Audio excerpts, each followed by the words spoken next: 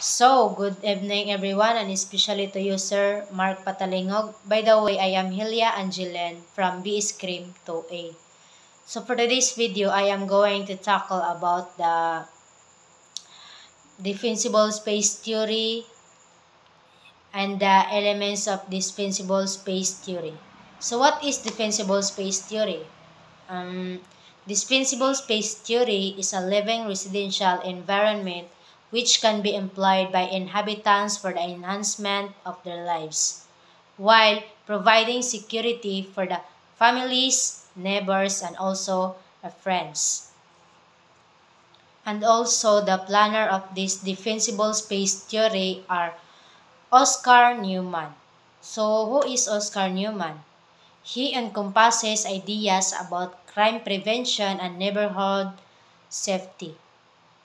Newman argues that architect architectural and environment design plays a crucial part in increasing or reducing criminality.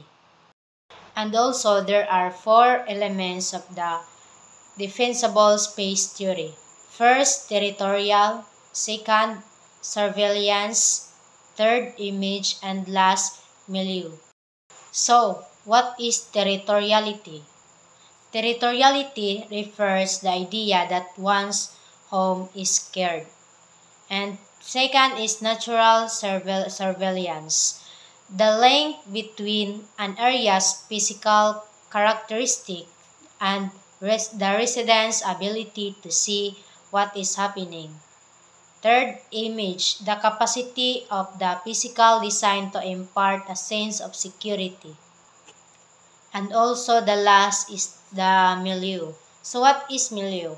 The physical or social setting in which occurs or develops environment. So it talks about the environment of the of the country. So that's all my idea and uh, also the definition of the defensible space theory. And thank.